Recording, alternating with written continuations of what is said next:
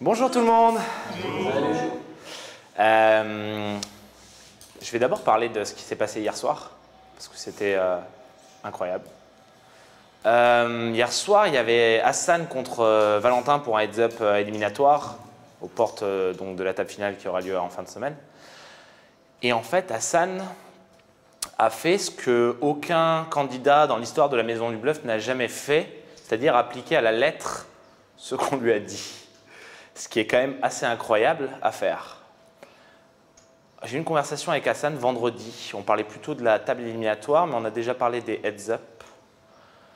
Il m'a posé beaucoup de questions par rapport au heads-up. C'est quelqu'un qui est très intéressé par les stratégies en général et qui voulait comprendre quelle était sa meilleure stratégie s'il tombait contre un favori. Et je lui dit, tu folds 100% des mains jusqu'à 500 000 pour pas jouer post-flop, à part tu joues euh, les grosses paires et les petites paires juste pour faire brelan. Si tu touches pas brelan, tu fais rien. Et après, à 500 000, tu apprends par cœur les tableaux et tu les pushes. Et en fait, tu es à un double up de passer devant ou à égalité, et le deuxième double up, tu gagnes le tournoi. Donc c'est ta meilleure stratégie. Le truc, c'est que la majorité du temps, si tu donnes ici un 9 et 10 suité, un valet 10 suité, un as 4 à quelqu'un en heads up, même si on lui a dit tu folds 100%, il n'arrivera pas. Ce sera plus fort que lui, il aura besoin de le jouer parce qu'on a des go au poker, etc.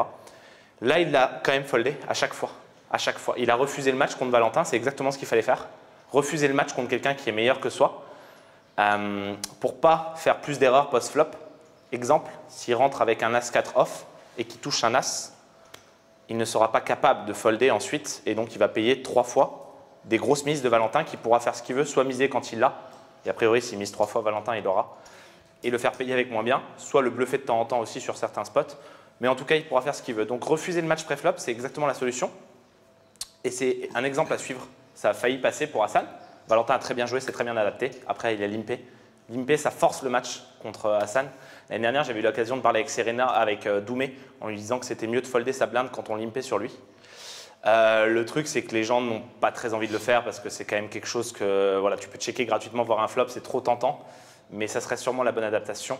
Euh, une fois que votre adversaire limp contre vous, folder directement au lieu de d'aller post-flop. Donc hier soir, on a vu vraiment un match incroyable. Euh, j'ai vibré, j'ai jamais autant vibré sur un match euh, parce que euh, j'ai trouvé ça fou des deux côtés, que ce soit Val qui, qui s'adapte derrière, qui, qui remarque qu'il y a une stratégie de la part de, Hassan assez vite, qui trouve une adaptation et Hassan qui continue à folder et refuser le match. C'était fou. Et après, le, bad beat de, Val.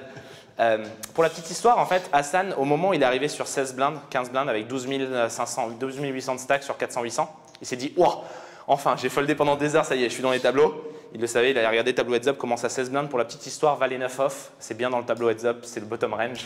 Donc c'est très drôle qu'il ait poussé pour la première fois cette main. Il est tombé sur As 9, donc pas de chance entre guillemets, parce que la majorité du temps, Valentin n'aura rien, il va juste folder. Mais d'un autre côté, grosse chance puisqu'il touche le valet et gagne son 30-70. Euh, ouais, bravo à Val, bravo à Hassan qui n'est pas là, mais euh, je lui redirai quand je le verrai. Euh, Aujourd'hui, justement, on va voir ce qui se passe post-flop. Et ça fait longtemps que je vous en parle. Et il y avait beaucoup de choses à faire pré-flop avant ça. Le post-flop, on n'aura que deux cours dessus, du coup, puisque demain, c'est débrief TE. Euh, jeudi, on continue ça. Donc le post-flop. Et vendredi, c'est cours online. Et ensuite, je vous laisse partir en TF. Euh, du coup, post-flop, on va juste voir les bases, ce qui permet de se battre euh, à pas à armes égales, mais en tout cas avec plus d'armes qu'à l'heure actuelle contre les meilleurs joueurs de la maison. Voilà. Donc post-flop, j'ai mis 11 commandements. J'ai créé 11 commandements qui sont un peu des vérités générales, des, choses que j'ai remarquées sur les années, euh, qu'on peut juste appliquer à la lettre, des phrases très simples, euh, pour pas rentrer dans le compliqué, comme on a, on a pu faire beaucoup de détails les dernières euh, semaines. Là, on va aller dans le simple et efficace. C'est des choses que je vous invite à apprendre comme une poésie. C'est des phrases, juste. Commandement 1, commandement 2, commandement 3. Je vais vous montrer tout de suite ce que c'est. Commandement 1. Et euh, oui, euh, merci à, oui, bravo à, je voulais dire bravo à Aladin et Hélène qui ont repris le flambeau. On n'a pas du tout communiqué sur ça, mais vous avez repris le flambeau avec un coaching, j'ai vu euh, l'après-midi, qui était exactement ce que j'avais dit finalement avant avec Hassan. Donc c'est exactement ce qu'il fallait faire. Et vous l'avez bien coaché en pratique, parce que c'était important aussi de mettre des mots, des, des cartes sur des, des Ouais, jetons sur, euh, sur les mots, parce que parfois c'est vrai que les mots, euh, et on fait beaucoup de théorie ici forcément, mais euh, les mots ne suffisent pas forcément eux-mêmes et mettre de la pratique derrière, c'était bien. Donc bravo à Ouais, vous d'avoir d'avoir bien coaché Hassan aussi. Et euh, c'est là où tu vois que Hassan, c'est vraiment un champion du monde et un, un sportif de haut niveau, c'est qu'il a juste une discipline de fer. Il applique à la lettre À la lettre. Sans interroger. Personne n'y arrive Personne Personne. quoi. Non, personne n'y arrive, c'est pas possible. Les gens, ils veulent pas. Non, vraiment, euh, c'était ouf. C'est ouf, hein Et euh, Et j'aurais été, je me suis dit, si j'avais été à ta place, Valentin, j'aurais été mal. Romain, Ah, Romain refusait le match. euh, J'ai essayé de prendre sur moi, mais c'était vraiment dur psychologiquement, c'est horrible. Quoi. Je savais que j'avais l'image en plus, je le voyais à chaque fois qu'il foldait. Pour moi, c'était comme si j'étais sur un ring de boxe. Alors bizarrement, c'est comme si c'était moi le, le favori, alors pas du tout sur un ring de Ouais, boxe. bien sûr. Et tu vois, et qui tournait autour. Et qui courait C'est l'image qu'on a fait en cours. Il court Ouais, en fait, c'est il incroyable. en train de bondir en plus, c'était à folle. Ouais, il bondissait sur place et tout. Ouais, c'est génial. J'en ai des frissons. une- Prenez vraiment exemple hein, sur Hassan. C'est pas juste pour, euh, pour le mettre en valeur qu'on fait ça. On le met en valeur évidemment puisqu'il le mérite, mais aussi pour montrer que c'est sûrement et certainement la meilleure stratégie possible, qui a failli renverser Val avec du 3 contre 1. Bon après il a gagné aussi un 30-70 hein, qui change tout, mais ce que je veux dire c'est que quand même il a failli renverser un pro, un des meilleurs français avec du 3 contre 1 au début, du 1 contre 3 pardon, Euh, ce, qui était, euh, ce qui était fou. Euh, pour la petite histoire, il y a You qui m'a proposé un 2,4 contre 1 en bet au début du heads up. Et pour, pour, euh, Hassan, genre que je prenne Hassan à 2,4, ça vaut du 6 contre 1, hein, quelque chose comme ça en termes de. Il y a 6 chances, il y, avait, il y avait une chance sur 6 que Hassan gagne à peu près, ou une chance sur 7 peut-être, ou 8 qui gagne au début du heads up. Si on prend les stacks au début du heads up plus le niveau de jeu de chacun, il y a à peu près une chance sur 6, 7, je pense. J'aurais estimé plus. Une chance sur 10.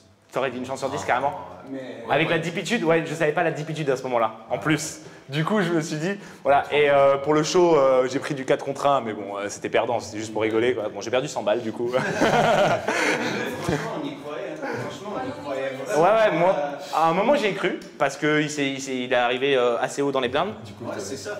Mais si, euh, au début, euh, les autres, ils n'ont pas compris ce choix. Ils disaient, vous avez, vous avez envoyé Hassan au casse-pipe, etc. Je dis, mais non, on l'a pas envoyé au casse-pipe. Vous allez voir que ça peut passer à pas grand-chose. Parce que- Pourquoi t'es pas allé jouer du coup? Non, non, ça Non, par contre, Non, je pense, je qu'il y a une erreur stratégique. Voilà. Non, non. Aladin, je pense qu'il y a une erreur stratégique. Par contre, au niveau de l'épreuve, et de fait, quand, quand tu peux gagner l'épreuve et choisir tes adversaires, euh, soit vous mettez quatre bons ensemble, mais j'ai cru comprendre que parmi les bons de la maison, ils ont, certains ont gagné l'épreuve. C'est ça Oui, c'est ça. Donc du coup, ce qui fait que je comprends, euh, mais soit vous mettez quatre bons ensemble pour qu'ils se rencontrent et qu'il y en a un qui se fasse éliminer, soit vous mettez, euh, bah, vous mettez pas les plus fichis en tout cas en, face des, des- des- des bons. Sauf qu'il Ouais. n'y avait aucune stratégie parfaite. Et Ouais. du fait que Hélène et moi, on, avait, on, on devait euh, s'accorder sur un choix, Ouais. euh, on n'a trouvé aucune façon que elle ou moi joue en fait. Non, Dans les- avec trois Ouais. mais forcément, mais on voulait pas se céder mutuellement. Et vous n'aviez pas, le- vous aviez pas le droit de choisir trois joueurs faibles, c'est ça? Si on avait Si, le droit, mais le genre droit. enfin, moi j'avais pas envie de lui, de lui donner ce, ce- ce coup de main, tu vois. Et lui non plus, inversement, il n'avait pas envie de te donner ce coup de main non Et en plus. même temps, on a réfléchi à, à savoir contre qui Valentin allait pouvoir se retrouver et prendre le moins de jetons possible. En fait, s'il gagnait, il y avait de fortes chances qu'il Et gagne. vous avez déterminé que c'était Hassan déter- C'est bien voulait jouer. Il a dit moi je veux y Et aller là, il, voulait, absolument. il voulait vraiment y aller absolument déjà. Il avait pas Ouais, de d'accord. Lui il a dit moi j'y vais, point. Il a 15 000, je préfère que autres. Val prenne un stack de 15 000 qu'un stack de 25 par exemple. Et après, ils ont mis Thomas qui a 40 000, donc Et après, on a mis-. Et après, on a mis Thomas parce que c'est le seul joueur, en dehors de moi et Aladin, qui pouvait jouer contre Val, entre guillemets, sans se faire. euh, T'as gagné, c'est ça? Je suis arrivé pour le heads up de la mort, mais euh, t'as gagné le heads up? Bon, ça s'est joué sur, euh, sur des coin flips, des 70. on démarre à 2000, blind 50, 100. D'accord, ok. Bah, ok. Euh, ok, très bien. Bon, les stratégies, de toute façon, font partie du jeu. N'oubliez pas que cette semaine, il y en a beaucoup et je pense que c'est peut-être la semaine où il y a, les choix stratégiques vont être les plus importants et avoir le plus de répercussions sur votre aventure. Donc euh, faites-les bien et réfléchissez à chaque fois avant de, de faire un choix. Commandement numéro 1 du poker post-flop. Avant de prendre tes jetons pour miser, tu te poseras systématiquement cette question magique qui répondra à tous tes problèmes post-flop. La question magique est la suivante. Pourquoi je mise? Il y a deux réponses possibles à cette question. Soit je mise pour value, c'est-à-dire pour rentabiliser ma main contre une main plus faible. Donc je mets si oui, si la réponse est value, si oui, contre quoi de moins bien? Toujours se dire, ok, je mise pour value, ça veut dire là j'ai une bonne main, j'ai une main sympa qui domine mon adversaire la majorité du temps. Donc je mise pour rentabiliser, on appelle ça pour value. Et maintenant je me pose la question, contre quoi de moins bien? Qu'est-ce que j'ai envie de faire payer à mon adversaire? Qu'est-ce qu'il peut avoir de moins bien qui pourrait me payer? C'est comme ça qu'on trouve une réponse aussi au sizing à faire, c'est-à-dire au montant que vous allez faire euh, en fonction de bah, la réponse à votre question, si oui, contre quoi de moins bien, vous allez trouver un sizing adapté. La deuxième réponse possible à pourquoi je mise avant de miser, euh, c'est le bluff. Oui, je peux miser pour bluff au poker, c'est une des deux raisons du coup, soit value, soit bluff. Si je mise pour bluff, c'est pour faire folder quoi? Donc je me pose la question ensuite. Si oui, qu'est-ce que je veux faire folder? Pareil, ça va vous permettre de trouver un sizing en fonction de la réponse. Donc, pourquoi je mise Je vais prendre un exemple concret. Euh, bah, viens, on prend un exemple d'hier. Du coup, euh, le 8 et 3 suité, le dernier coup, c'est check raise ou c'est. Ouais, c'est check raise. Hein? Pardon. C'est limpé préflop et check raise, c'est ça? Exact. Ouais. Donc, je vais vous donner un exemple. Là, c'était une erreur de la part d'Hassan. Euh, mais bon, c'était ce qui, ce qui était prévu que post-flop il fasse des erreurs. Et c'est bien pour ça qu'on évitait le match post-flop et que Valentin l'a forcé à jouer le match post-flop en limpant. Ses grosses mains comme ses petites mains. Euh, parce que de toute façon, même avec des petites mains, il a un edge, donc il fallait limper tout. Euh, ou presque, oui, on peut, on peut raise aussi le- les mains, et, vraiment déconnecter. En fait, la je limite. sais de, à un Ouais. moment donné, je réalisais polarisé, et je limpais Et émergé, limper émergés, ouais, ouais. Ouais, ouais. Ouais, ouais, je pense que même, même Valet 2 est toujours à limp. Parce que je pense que. Ouais, mais en fait, comme il, c'est vrai qu'il d'erreurs. foldait une tonne quand même, donc euh, a un moment donné, j'ai pu, quand, quand au début, je lui ai livré des jetons, Ouais. et j'ai pu lui regrappiller euh, juste finalement pré-flop, parce que comme Ouais. il foldait une tonne, j'arrivais quand même, quand les blindes commençaient même à être 200-400, tu, ça va vite, quoi. Tu veux vite C'est vrai que tu prendre- prends pas mal en fait, ouais, tu prends un peu en tu raisant. prendre ouais. 1600, 1800 en Ouais. 4 coups. Mais bon, si tu limps sur un coup, tu peux lui prendre euh, son stack, quoi. Parce que là, il fait vraiment beaucoup C'est pour d'erreurs. ça qu'après, je limpais aussi une- pas mal, enfin, j'essayais de mixer un peu. Et... Ouais, les plus pourris, tu les raisais. Et les, euh, les mains les plus pourries, ouais. après je, je mixais, tu vois, par exemple, à un moment donné, j'ai limpé deux dames. Ouais, j'ai vu. Ouais, bien, tu ça. vois, j'essayais de Bien. changer un Et donc, justement, un coup euh, post-flop, ah, j'ai pas de marqueur. Sick. Il y a un marqueur quelque part ou un stylo chez les amis C'est vous qui me les volez en fait. Merci Hélène. Ouais, donc le coup, euh, c'est Valentin qui limpe Dame 9 de cœur et Hassan qui check sa big blind avec 8 et 3 de carreau. Ça vient 10, 8, 4. Ça, avec deux cœurs. 10, 8, 4 à peu près. Ah non, j'ai dame 9. Oui, t'as gutshot Ouais, et gutshot, draw. Donc 10, 8, 4 avec deux cœurs. Ouais. Euh, il fait la middle pair euh, Hassan. Il check, jusque-là ça me va. Parce qu'il ne faut pas prendre de risque, merci. Pas prendre de risque. Donc Valentin, bouton, limp. Je me rappelle plus des montants. Si quelqu'un peut me les redire, Romain ou est au Valentin. blind 300, 600. Ok. Donc limp 600. Non, attends. 400, 800. 400, 800, ouais, c'était le, le dernier niveau. Vous n'avez pas monté à 500 000, hein? Non. Non. Euh, bébé Hassan, euh, il a mis 800 en bébé et il check. 8 et 3, on s'en fout. Et Q9, H, H, ça veut dire Heart, Heart, cœur, cœur. Euh, flop, donc Polympé, flop T8, 4 ou 2, peu importe, on s'en fout de la, troisième carte qui change rien. Je sais plus si c'est ça, mais ça doit être quelque chose comme ça. HHX, il y avait deux cœurs et une carte, euh, une carte d'une autre couleur. Hassan a checké. Check d'Hassan en big blind, c'est lui qui parle en premier maintenant. Post flop. Valentin mise. 1002.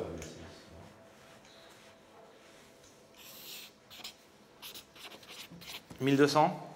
Hassan raise. Voilà, première erreur. Justement, via cette question, si Hassan s'était posé la question, mais ça, je ne lui en veux pas parce que post-flop, ça met du temps et on n'avait pas encore, euh, avec tout ce qu'on avait à faire pré-flop, on n'a pas eu le temps de faire ça. Et post-flop, euh, c'est tout un. Ça, on peut le comprendre, mais pour le maîtriser, ça met des, mois, voire des années. Mais bon, au bout de quelques mois, on va dire, si on se pose bien la question à chaque fois, on va, vraiment trouver des, mécaniques et des habitudes de jeu. Euh, là, il n'y a pas de raison de miser. Donc, s'il se pose la question pourquoi je mise, c'est-à-dire pourquoi je relance, enfin, Valentin en a une. La, première, la raison de miser de Valentin, c'est bluffer. ok? 1200 est mise pour bluff.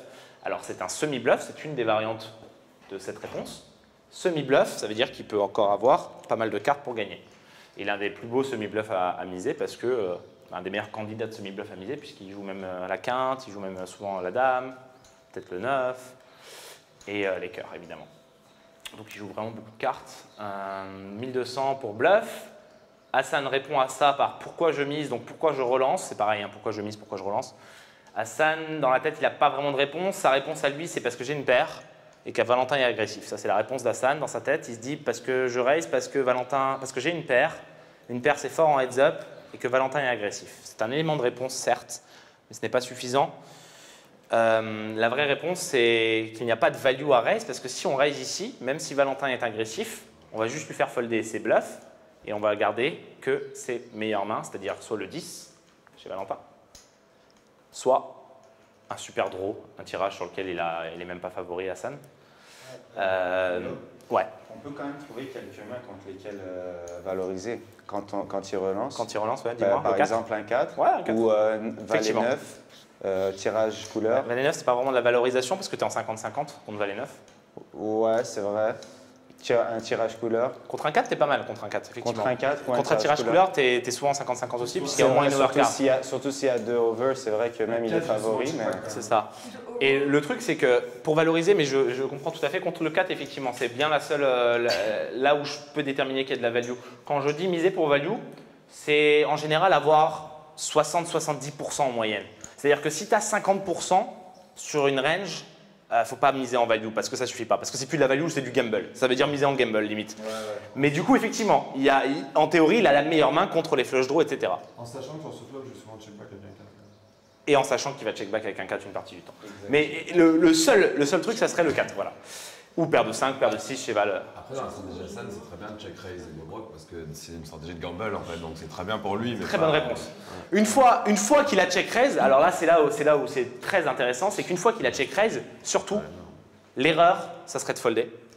Et il n'a pas foldé. Donc ça c'est très bien. énorme. ouais. Ça serait une énorme erreur de folder du coup ici, là où la majorité des gens de la maison du bluff auraient foldé, parce qu'ils auraient check raise fold. Donc c'est là en fait où vous voyez la différence entre Hassan et un candidat amateur qui vient dans une émission en général. Bah, Hassan c'est que lui, il va aller au bout de, de ses, de ses- de ses trucs. C'est-à-dire que souvent on voit des gens tenter des choses. On a vu Greg notamment sur une des premières mains où il a check raise la turn avec euh, 2-5 sur dame dame machin, et après il a abandonné. On voit les gens tenter des choses mais donner leur jeton en faisant plein de petits coups comme ça qui ne suffisent pas. Hassan, il va au bout de son truc. Il fait un truc qui, certes, c'est discutable, c'est pas bon, mais une fois qu'il le fait, il va au bout. Et ça, c'était la plus grande qualité. Parce que 8 et 3 ici, une fois que tu raises, donc là, il a relancé euh, 3006, ou il a mis par pain, là. Il a mis, ah, 3006, c'est vrai. 3006, euh, Valentin Chauve, et puis il a colle. Il a dit, au final, il a dit, vas-y, euh, de toute façon, euh, j'ai pas un avantage sur euh, Valentin post-flop. De toute façon, si les, les coups comme ça euh, jusqu'à la river, je vais pas y arriver. Donc, euh, autant essayer de, se dire que mon 8 c'est bon et qu'il a flush draw, espérer qu'il a, qu'il a tirage couleur. Et, Et, euh, En fait, et ça, a failli, euh, ça a failli tenir. On a discuté avec Hassan après et euh, sur le coup, je l'ai sous-estimé finalement parce que il m'emmerde quand il fait 3006 par rapport à son stack qui au début du coup il a 24, 25 000. Ouais, Je vais jamais contre un très bon joueur, je vais jamais chauve évidemment parce que je représente trop ce que j'ai. bien sûr. Euh, le plan, c'est que là, je réfléchissais, je me disais, qu'est-ce que c'est Est-ce que je fais quelque chose comme 10K Le problème, c'est que je m'attendais justement à ce qu'il call facilement à un 10K.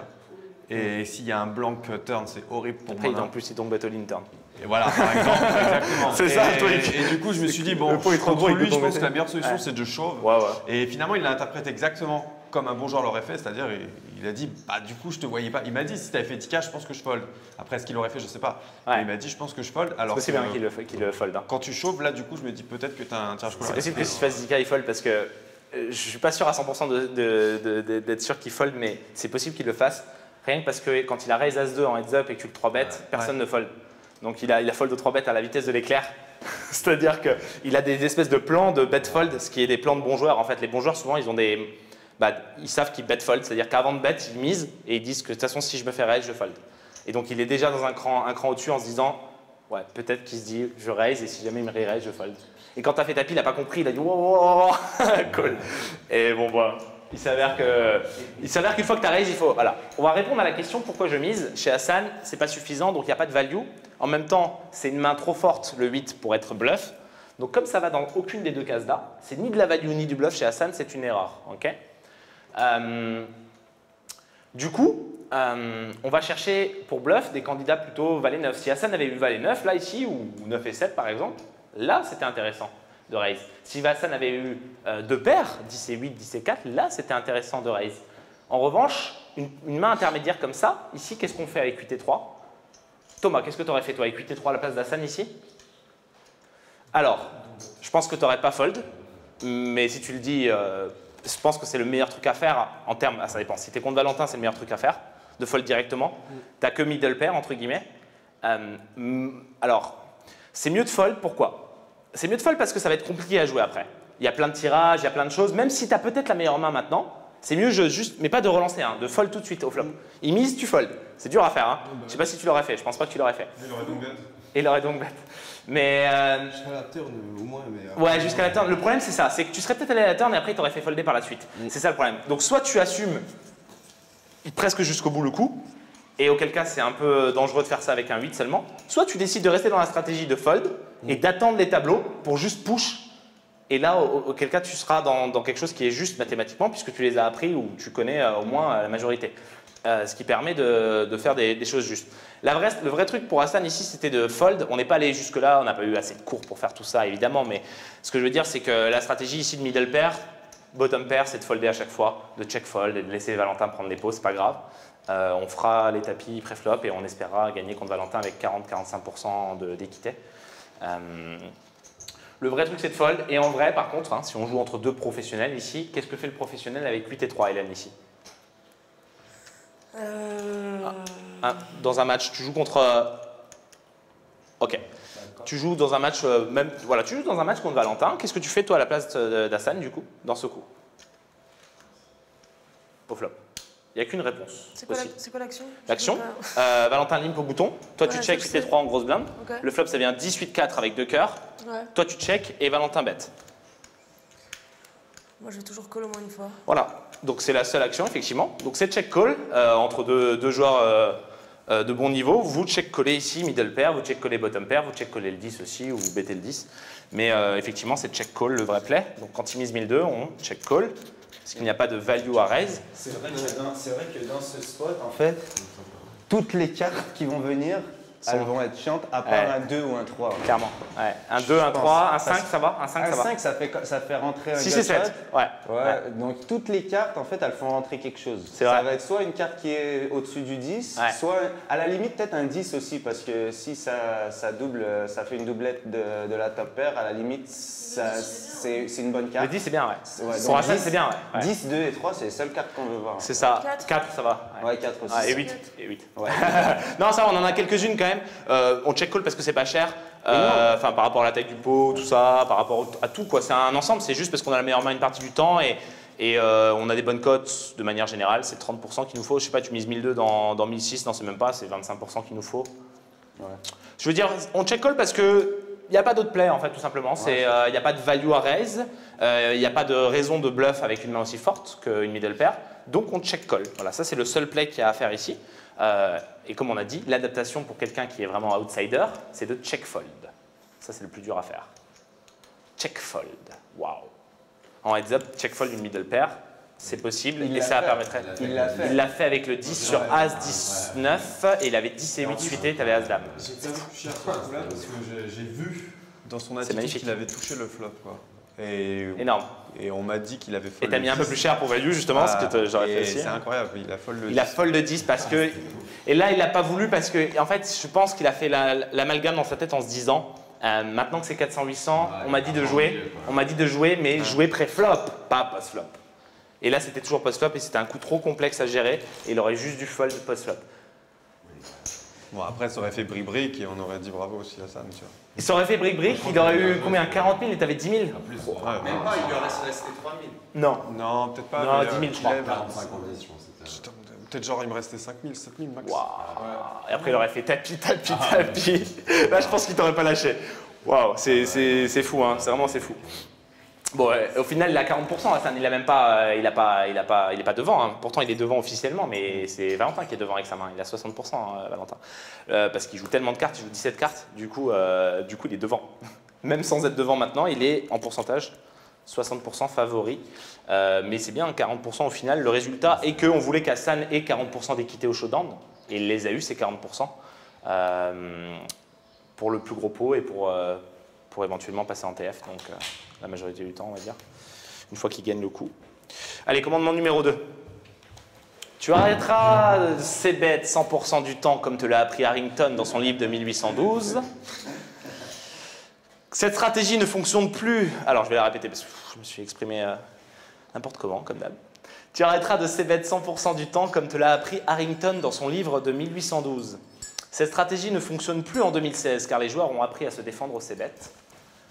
Elle fonctionnera uniquement contre un débutant. CF, Confer, le coup du berger aux échecs. Je ne sais pas si quelqu'un joue aux échecs ici. Ouais. Donc voilà, le coup du berger, c'est un petit coup qu'on fait. C'est un échec et mat en trois coups, si je me rappelle bien, et qui marche que si l'adversaire fait une ouverture qui est, qui est moisie. 4 coups. 4 coups, ouais. C'est vrai. C'est E E4, E5. Après, c'est Dame F, je sais plus. je sais plus. À l'époque, j'avais joué aux échecs sans l'échiquier, mais plus maintenant. Euh, donc, CF le coup du berger. Voilà, faut pas faire des trucs comme ça. C'est bête 100% du temps, ça ne sert à rien. Euh, parce que ce qui va se passer, c'est que les joueurs s'adaptent, ils vont check raise, ils vont check call avec euh, juste une paire, avec une middle pair, avec une bottom pair. Ce qui n'était pas fait à l'époque. À l'époque, on foldait middle pair, hein, vous ne saviez pas peut-être, mais ceux qui ont joué au poker il y a 6-7 ans, ça foldait une tonne au continuation bet. Alors on ne voit pas les cartes de l'adversaire quand ils fold, mais il y a des études qui ont été menées entre les joueurs pour comprendre ce que les gens foldaient, et en fait foldaient réellement des middle pairs, voire des top pairs mal kickés. J'ai pas souvent fold middle pair euh, sur un CD. Ouais, t'as toujours été une monkey. C'est pas comme maintenant là. Ah, Ok. Non, mais euh, moi non plus, je foldais pas souvent. Moi, j'ai toujours check raise. Je check raisé mes bottom pairs et mes middle pairs comme Hassan d'ailleurs. Au début, quand j'ai commencé ma carrière, je check raisé au lieu de. C'est déjà mieux que entre guillemets que, que check fold. Mais bon, le mieux c'est de check call, tout simplement. Donc check call, euh, les gens check call contre vous des middle pairs et des bottom pairs, ce qui fait que vos c-bets ont moins de valeur. Aussi check call des gut shots là où avant euh, gut shot c'était un tirage qui n'existait même pas, on s'en foutait. Euh, en tout cas, je parle de joueurs qui avaient déjà appris un peu les, bases et qui jouaient depuis quelques années, notamment dans les cercles, notamment euh, même sur Internet, etc. Donc du coup, le c-bet 100% du temps ne marche plus comme à l'époque, et il faut c-bet à peu près en fonction des profils adverses. On peut c-bet 100% du temps sur certains profils, euh, mais la on va dire en moyenne, je dirais, mon c-bet sur un million et quelques mains, c'est 58%, je crois. Donc c'est c'est un peu plus qu'une fois sur deux. Ou 55%, je crois. Euh, voilà. On va aller au commandement numéro 3.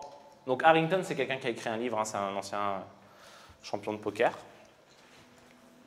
Mais justement, ce livre euh, est un peu dépassé maintenant, enfin beaucoup même.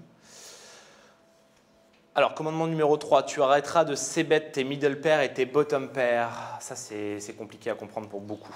C'est normal. C'est pas, pas évident. Alors, quand on a middle pair ou bottom pair, en fait, on ne s'ébête pas la majorité du temps. Euh, on ne s'ébête pas parce qu'il n'y a pas suffisamment de value. On revient au commandement numéro 1. Pourquoi je mise? Bottom pair, ça veut dire quoi? C'est la paire la plus petite du flop. Middle pair, c'est la paire la moyenne. hein. Donc pourquoi je mise? Admettons, ici. Quand moi je dis, le commandement numéro 3, il vous dit, ah, je vous remets sur le 3, il vous dit que il faut arrêter de c-bet, de, continu- de faire son continuation bet avec un 8 et un 4 ici, la majorité du temps. La majorité du temps, ce sera mieux de checker, check back ou check hors pause avec ton 8 ou ton 4 parce que tu n'as pas suffisamment de value contre une main plus faible. C'est-à-dire, admettons tu as 8 et 9 ici. Si tu mises, pourquoi tu mises? Tu mises pour. On ne sait pas en fait. Parce que tu mises pour value contre un 4. Tu mises pour value contre 8 et 7 et moins. Mais toutes les autres mains, que ce soit les, draws euh, avec des open-ended, euh, les flush draws, machin, ont 50% en moins. Le 10 est carrément devant toi. Le 8 est souvent devant toi puisque tu n'as que 8 et 9. Donc aucune raison de, de c-bet. Encore moins avec le 4 dans ce cas-là. Puisqu'on prend encore moins de value. euh, Il n'y a plus de paire derrière pour prendre de la value. Quoi. Si paire de 2, paire de 3 servie. Quoi. Du coup, tu arrêteras de c-bet en fait tes middle pairs et tes bottom pairs. Et tu c-betteras tes top pairs, c'est tout. À suite, Enfin, 8. Et éventuellement les meilleurs middle pairs. Ou à 8 à suite. Parce que les meilleurs middle pairs ont de la value contre des middle pairs intermédiaires. Mais c'est bien les seules mains. Si on doit choisir des mains assez bêtes, ici c'est le 10, le 8 avec un gros kicker comme l'As par exemple ou le Roi. Alors, comment ça? Mais alors si on sait bête que le 10, on est lisible au poker? Bah, La réponse est non. Parce qu'on sait bête le 10, oui, mais on sait bête aussi les tirages. Donc très dur pour notre adversaire de savoir si on est plutôt sur un tirage ou sur le 10. Dans tous les cas, il y a suffisamment de mains. Il y a 7 et 9, il y a 6 et 7 en tirage, il y a Valet Dame en tirage, il y a Valet 9, il y a plein de 10, il y a 5 et 6 en tirage quinte. Donc il y a suffisamment de mains chez vous pour vous couvrir de la lisibilité de votre adversaire. Votre adversaire ne va pas forcément comprendre ce que vous avez puisque vous allez c'est bête aussi bien le 10 que votre tirage. Et tous les 10, vous en avez plein, hein. valet 10, 10 et 9, même 10 et 2 suités si vous avez raisé cette main par exemple. Euh, on peut c-bet tous les 10, voilà. Donc on c-bet pas middle pair, ni le 8, ni le 4, on check, et après on colle une fois. C'est aussi simple que ça en fait. Quand on a middle pair ou bottom pair, on check back et on colle une fois un bet à la turn. Ensuite on avise river. Mais on ne mise pas au flop, on check et on colle une fois un bet à la turn. Il y a rarement de la valeur à prendre de moins bien avec vos middle pair et vos bottom pair, et c'est rarement une bonne idée de faire grossir un pot avec une middle pair et une bottom pair, de manière générale. Aussi, quand on se fait check raise et qu'on a middle pair ou bottom pair, on n'est pas content. Alors que quand on a top pair, on est déjà un peu, on est déjà mieux. On peut coller le raise et assumer un raise. En revanche, avec le 8 ou le 4, si on les a assez bêtes, on s'est mis dans la, on a tendu entre guillemets euh, le bras pour se- ou le dos pour se faire battre. Je sais jamais cette expression, mais ça, le bâton pour se faire battre, le dos. On C'est tes soirées, ça devrait c'est. tu viens plus aux soirées d'ailleurs. Ça fait un mois que tu viens plus aux soirées d'ailleurs. Ça manque d'ailleurs. Ça te manque. Bientôt. Euh, 8-4. On ne s'ébête pas. Commandement 4. Tu te contenteras en fait de ces bêtes. Donc je vais vous donner une réponse à qu'est-ce qu'il faut continuation bet. Qu'est-ce qu'un continuation bet J'ai pas fait cette question cette année parce que je trouvais ça trop bateau de, de faire des cours sur qu'est-ce qu'un continuation bet. C'est moi. Thomas, tu sais que- Dès que tu ouvres, eh ben, tu. Tu ouvres tout le temps. Ensuite, ouais, dis-moi. Tu balances tout le temps les jetons. quoi. Ça ressemble à ça, mais continuation bet, c'est juste l'action effectivement dès que tu ouvres. Tu balances les jetons et tu touches le temps. Continuation bet, c'est quand tu ouvres. Quand, quand tu ouvres. euh, En fait, finalement, ça sert. En fait, j'aime pas dans mes cours traduire ces trucs-là parce que je trouve que ça sert à rien d'avoir euh, de savoir ce que ça veut dire continuation bet. C'est juste pour traduire entre vous quand vous parlez parce que au final, c'est juste l'action de miser en fait. Continuation bet, ça veut dire je mise au flop après avoir misé. au flop. C'est- Je continue à miser tout simplement quoi. Mais même si tu mises au flop et que, et que tu remises à la turn, en fait, tu fais un continuation bet à la turn aussi quoi. Enfin, tu continues à miser tout simplement. C'est pour ça qu'il a dit je balance les jetons tout le temps. Voilà, c'est plus ou moins ça la réponse au final, c'est miser. Voilà, donc, qu'est-ce qu'on mise au fait flop? On mise donc, qu'est-ce qu'on continuation bet C'est bet, continuation bet, des top pairs, des open-ended, ça veut dire tirage quinte par les deux bouts, des gut shots, les gut shots les plus fortes, on va dire, Euh, donc les tirages ventrales, gut shots, avec 4 cartes, du coup, et tes flush draw, donc des tirages couleurs. Voilà ce qu'on fait bet en fait. Ce que j'ai dit tout à l'heure, j'ai déjà avancé sur le commandement numéro 4. Si vous faites ça, en fait, vous respectez. Il y a- il y a- ouais, c'est là où vous jouez le plus profitable possible au poker. En respectant les commandements comme ça, tu sais bet tes top pairs, tes open-ended, tes gut shots les plus fortes et tes flush draws. Point. Tu ne sais bet pas tes airs total, c'est-à-dire euh, tes mains qui ont complètement raté. Tu ne sais bet pas tes middle pairs, tu ne sais bet pas tes bottom pairs. Et tu te retrouves à jouer finalement comme un pro. Puisque les pros jouent plus ou moins comme ça, quelques détails près, mais ça c'est la grosse stratégie de base. 80% du temps ils vont jouer exactement comme ça, et puis ils vont changer 20% du temps, ils vont faire des petites adaptations. Mais euh, 90%, 80% du temps, ça c'est une bible, c'est une bible à retenir.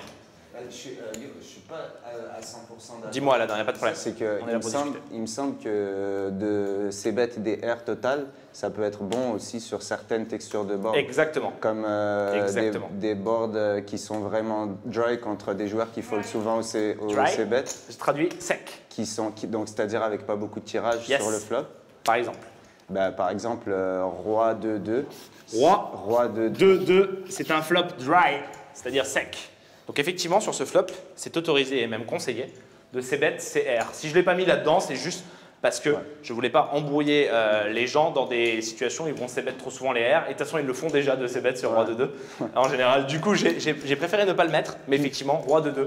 Puis ça dépend aussi de, de l'adversaire en face. Si l'adversaire en face, on sait que justement, il colle 100% des C-bet, à ce moment-là, ça sera peut-être pas la bonne chose à faire. Mais si on Non. regarde, qui, qui- si on s'est rendu compte que sa fréquence de fold au C-bet est Exactement. élevée, à ce moment-là, ça devient bon de, Même. C-bet 100% du coup. Typiquement, Ouais. d'ailleurs, j'ai quasi 6 bêtes 100% du Bien temps, sûr. Parce que c'était le truc à faire contre Hassan. Après, une fois qu'il a commencé à check raise une tonne, je pense que j'aurais pu s'y bet 100% parce qu'il a check raise vraiment beaucoup au flop. Ouais, pas tant que ça. Après, c'était facile à jouer parce qu'il check raisé et check, check turn.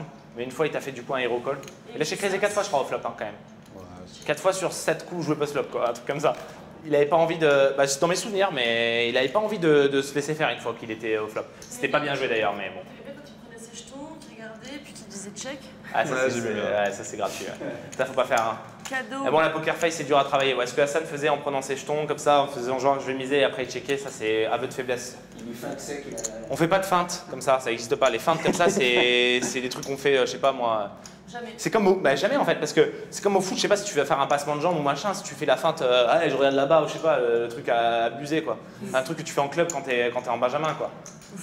non mais c'est vrai, au foot, c'est- c'est- tu fais pas cette feinte là, donc, euh, donc voilà, c'est pareil au poker. Au poker, tu restes une poker face, tu ne fais pas, tu touches pas tes jetons tant que tu sais pas combien tu vas miser, ou si tu vas checker.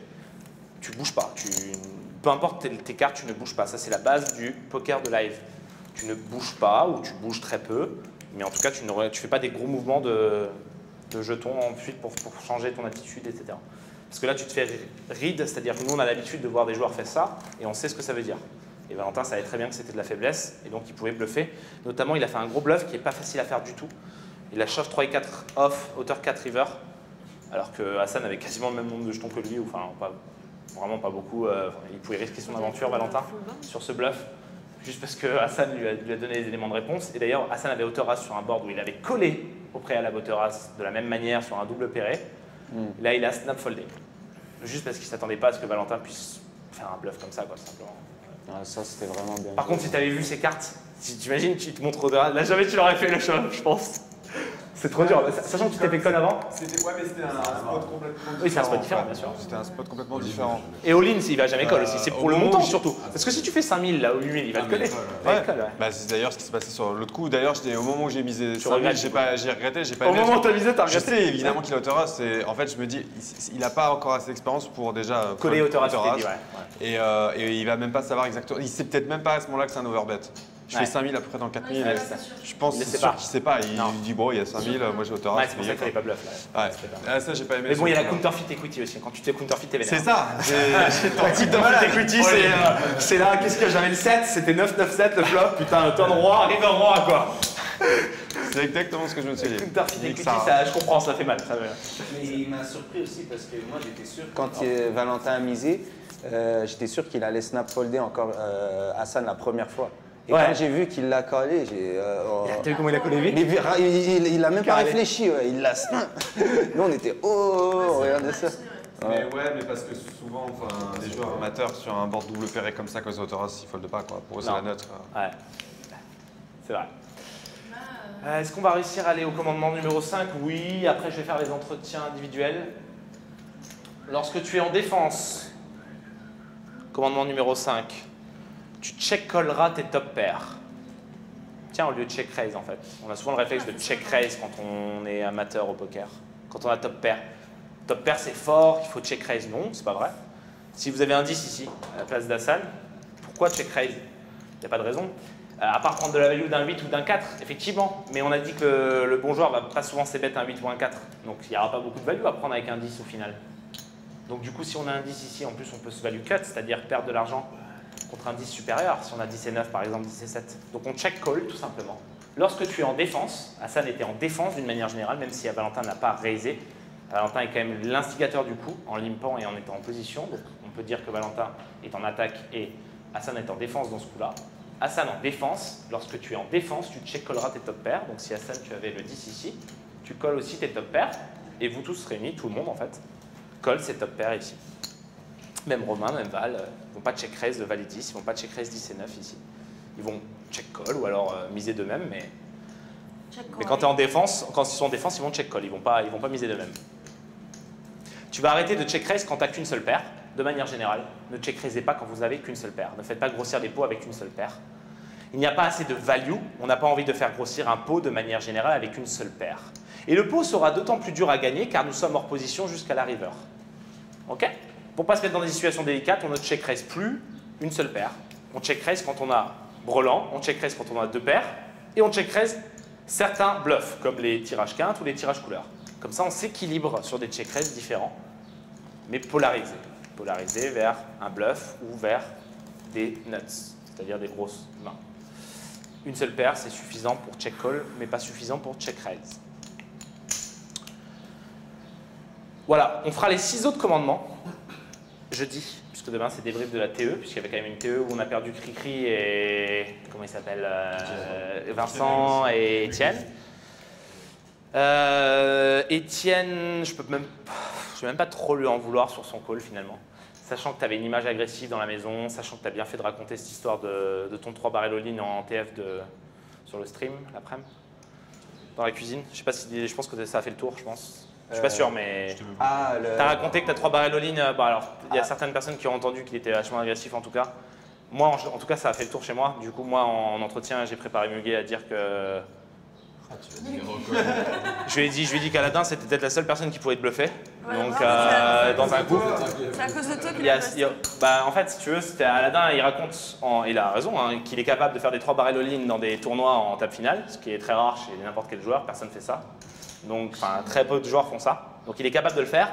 Du coup, euh, on est obligé de s'attendre à ce que Aladdin soit agressif. Après, ça ne veut pas dire non plus que Aladdin va bluffer ce spot-là. Parce que ce spot-là, il est plus complexe à comprendre et je pense que Étienne aurait dû le comprendre comme un spot non bluffable, puisque c'est les boards SI et personne ne bluffe les boards SI de cette manière-là. Donc Étienne aurait pu comprendre que quand on parle de 3 barrels all-in, on parle plus de boards où il y a une turn qui vient scary card et une river qui vient brick. Voilà, type euh, le board capé d'ISO, turn roi, river brick. Là, par contre, j'aurais vu Étienne coller Aladdin avec, euh, avec paire de 8 ou un 10 seulement. Mais pas sur un board SI capé comme ça où l'adversaire a trop souvent un as et t'as pas envie d'essayer de lui faire folder un as. Ce qui est compréhensible à Aladdin. Voilà. Mais il a essayé, je comprends après dans, la stratégie de winner takes all, euh, contre Aladdin en particulier, je peux pas, on peut, pas être, faut pas être résultat anti dans ce coup-là. Je ne peux pas dire que ça soit quand même une grosse erreur. C'est une erreur certes parce que le board SI Aladdin l'aurait pas bluffé, mais ça peut pas être une grosse erreur puisque le but c'est d'aller chercher deux jetons. Euh, on n'a pas une avance en jetons à ce moment-là quand on est Étienne. Euh, Il y a beaucoup d'ar- d'arguments qui font qu'on est contre la personne la plus agressive, la personne qui pourrait être entre guillemets capable de le faire en bluff. Il y a beaucoup d'arguments qui font que le call ne peut pas être une grosse erreur. C'est une erreur certes, mais ce n'est pas une grosse erreur comme on, peut l'imaginer en se disant ouais, il a fait n'importe quoi, machin. Il a fait une erreur, c'est pas non plus. euh, Il y a pire. hein. Ça c'est très dur de ne pas être très sous-tenté sur ce coup-là, mais il y a vraiment pire. hein. Voilà. Du coup on a perdu Christian, Vincent, Étienne et euh, on a. euh, faut que tu me rappelles ton prénom. Je t'ai vu qu'une fois, David. David qui a un beau stack, non David? T'as combien? 34. C'est bien 34. Toi, c'était un beau stack aussi, toi 42 42. Pan. Thomas, David, c'est quoi? C'est juste après Valentin et Romain en termes de stack? Romain, t'es toujours premier? Valentin, t'as combien? Du coup, j'ai 54, 8, un truc comme ça. 58. 58, 54, 8. On a Thomas après. David? Moi j'ai 27. 27 Ah ouais? C'est bien ça. Comment t'as fait 27, t'as t'as gagné un heads up, ça te fait. Bah, j'ai, après, j'ai, shove 4, 4 mains. J'ai, j'ai resteal une fois avec Juan. J'ai, j'ai resteal. J'ai, euh, T'as pas mal volé à la fin J'ai volé, j'ai resteal deux fois, une fois avec King 10 et une fois avec euh, King 9. Ouais, t'as bien joué à la et fin. après, j'ai, shove 4, 3, 4 mains vers la fin. Et puis sur le dernier, sur le dernier coup aussi, j'ai payé avec euh, Roi 9 solide quand il, quand il, a, euh, quand il fait all-in pour deux big blind et demi C'est bien pour le Propre. boss. Propre. Attends, on le verra demain, ça débrief, mais j'ai vu, là, il y a un truc qui était pas bon là. Paire de 4. T'as combien de mains Mais non, mais tu peux. mais ça dépend. Ouais, mais je voulais pas jouer mon aventure. Ouais, non, mais, quatre, euh, ouais, mais attends, attends, attends, Thomas, Thomas, Thomas, Thomas. Si toi tu me dis ça aujourd'hui, comment on fait avec toi Parce que Thomas, t'es le plus agressif de la maison. T'es la, la personne que j'ai toujours estimé qui avait le plus de balls. Et toi, tu me dis, je veux pas jouer mon aventure sur paire de 4 Bah, parce qu'il il- Mais il non. m'a déjà craqué une fois. Mais on s'en alors, fout euh, de ça Du coup, la paire de 4, Mais paire de 4, c'est. Mais non Mais t'es malade C'est c'est un shove, c'est Bref, je tapis. l'ai gagné, donc, euh, Mais non, j'ai mais bien Thomas, fait, quoi. Thomas, c'est tapis. Mais Thomas, le tableau, c'est. Même, il n'y a pas de tableau ici pour le coup, parce que c'est raise. Mais peu importe, une paire, c'est très puissant Bah, tu vois, poker. en plus, il n'y a pas de naf, donc. euh, Mais il n'y a pas de nash ici, mais il y, a il y a une certaine manière, il y a quand même tapis ici. Bah, je te dis que je fais tapis ici. Donc si je fais tapis, c'est que tu dois faire tapis. Après, j'ai peur de, de Valentin, faire il fait tapis à ta tapis. place. Tu sais J'ai qu'il fait peur- tapis. Ouais, j'ai peur Tu de lui faire paire de tapis. quatre. J'ai peur de faire tapis et après, il me colle pas. Il fait Brelan contre père hein, quand même. Mais il te colle pas, mais le but c'est pas qu'il te colle parce que Brelan fait une fois sur 8. Alors toi tu peut-être une fois sur deux, mais. mais on fait une fois sur 8, Brelan, euh, Thomas. Je je veux dire, tu comprends pas Tu une fois sur 8, ça veut dire que Valentin il va s'émettre et tu vas pas, tu comprends pas Le coup il va dans l'autre sens, les jetons ils partent dans l'autre sens. C'est pas Valentin, c'est euh, Vincent. Vincent, le pauvre, tu lui mets top pair, en plus il était Brelan. Ouais, attends, le- c'est-à-dire, tu comprends pas Là t'as eu énormément de chance, faut que tu comprennes ça. Il faut faire tapis, flop. Vraiment, un tapis. Arrête de me dire je veux pas jouer mon aventure, il y a un gagnant. Thomas, Ouais. vraiment retiens ça, hein, parce que t'as beaucoup de stacks. Hein. J'ai aimé le si je fais tapis, fold. Hassan, il avait pas peur. Hein. Faut pas que t'aies peur. Hassan, c'est celui qui se rapproche le plus près de ce qu'il fallait les faire. 100K, il les prend à chaque combat. Tu m'étonnes qu'il a pas peur. euh. Ah ouais, mais le problème, c'est ça. C'est que Valentin et Romain aussi, ils ont une bonne, ils ont une bonne bankroll, t'inquiète pas. Ils auront pas peur. Et il n'y a qu'un gagnant à la fin. C'est ce qu'il a sorti la dernière fois. J'ai j'ai un tirage couleur qui est pas rentré, quel bad beat. Allez, je vais faire les 11 commandements de Thomas. les 11 phrases de Thomas. Putain, toute ma vie, je floppe pas Brolant, quoi. J'ai peur qu'il faut que ça flotte avec un verre de 4. Bon, voilà, c'était- David. En train de repenser à ça. Il y a aussi un As-2 là, c'est pas bien, Thomas. As-2, là, t'étais dans Nash, là. Là, c'était Nash. Il t'a fait tapis en, en small blind, t'avais As-5 ou As-6, t'as foldé. Comment tu peux folder ça? C'est pas possible. C'est pas le. Mais non, un As avec sentais 10 pas. blindes, un As contre 1 contre 1 avec 10 blindes, tu payes. Je préférais payer 8-7 contre lui, quoi. C'était quoi 8-7 Je sais même plus. Bah, en fait, il relance, euh, j'ai 8-7, je call. Au bouton, un 19-9, et il shove, il y a un 9 en face, il fait Valet River. Ah, mais non, c'est différent là, t'as- c'est post-flop, je te parle de pré-flop moi. Non, mais c'est un tirage qu'un, t'as tirage Il a qu'un. plein de flop, il a une au bouton. Ça, tu Ouais. Et c'est quoi C'est tapis. 9, 8, 6, 7, 8 suité avec 9. Ah, il sait qu'il va faire quinte. Ouais, mais même tu fais tapis, tu te fais payer, tu fais quinte ensuite. C'est dans l'autre sens. Il faut faire tapis euh, 7 et 8 suité. Il faut payer As-2 euh, quand on te fait tapis en small blind. Un As en small blind, en big blind, c'est très fort. Mais j'ai mis tapis les 6 et tout, il y en a aucun qui me payait, tu vois. Non, mais c'était ironique, je sais que tu payes pas. As5 Mais du coup, c'est mieux pour lui que, que tu payes pas parce que lui, il va voler les blindes la majorité du temps. Je l'ai fait une ou deux fois avec les 6 et tout, j'ai envoyé Les tapis, six, C'est tapis. trop facile avec les 6. Ouais, mais il y a personne qui, qui, qui, qui colle Mais derrière. le but, c'est pas de faire euh, quand tu fais Nash. flop, Eh, Nash, il est. euh, Nash, c'est pas. Non, on voit pas le flop justement. C'est ça la différence. Regarde, Hassan, il a réussi à le faire, il a failli gagner. Mais je pouvais pas Tu pourras parce pas. qu'à chaque fois il y avait une relance avant moi. Non, pas le les cas, 7 et si 8, j'ai le 7 et 8, Nash, le si 7 et j'ai 8, Nash, les deux, les deux 4, je les fold. Et alors, le 7 et 8 suité, il y avait une relance avant toi Bah, euh, C'est pas vrai. Arrête, t'as Non. t'as payé au Non, bouton, non, t'as limpé au bouton. avec 9 blindes. C'est tapis. Mais t'avais relancé Non, non, un, petit. Il peut pas avoir relancé, il est après toi. Ouais. Moi j'ai fait que. Eh ouais, là, t'as Tu sais que limpé. t'as t'as même, t'as même fait tapis avant que moi j'étais premier de parole. Donc t'as fait. Que ouais, j'ai Thomas, écoute, t'as fait deux erreurs. Le 7 et 8 suité, c'est tapis. Enfin, t'en as fait certainement plus, j'ai j'ai vu ça. Enfin, on me dit ça. 8 et 7 suité, c'est tapis ici. Et le small blind contre big blind, là, t'es dans Nash aussi. Dans celle de call, en heads up. T'es en heads up. Pourquoi? Parce que c'est small blind contre big blind, donc c'est comme heads up. Il te fait tapis, moins de 10 blindes, tu payes avec n'importe quel as et peut-être presque n'importe quel roi. Donc imagine ton as 5 off, c'était collé 100%. Et en plus, il avait n'importe quoi. Il avait. euh, je sais même pas ce qu'il avait, mais il avait. C'était qui Aladdin? Ouais, c'est Aladdin, t'as chauffe quoi? Je me rappelle plus de cette main parce 9, que. euh, il avait Valet 9, un truc comme ça. Tu tu t'es fait bluffer, mais c'est normal, il va te bluffer dans ce coup. Non, mais Donc toi, bon tu fold. voler. Thomas, bon fold. Tu m'étonnes qu'ils te disent bon fold. Bien joué. Si, on est dans les 4 derrière et le 8-7, tu vois. si on est dans le même spot, refais la même chose, change rien. Il a dit change rien, Ah, bah la prochaine fois, je sais J'espère pas, bien peut-être que ce vas. sera As-3, mais hein. tu fais attention à Faut toi. pas attendre As-3. euh, euh, Voilà, il n'y a qu'un gagnant, euh, Thomas. Allez. Euh, merci pour aujourd'hui euh, et merci pour les émotions hier. C'était bien. Merci.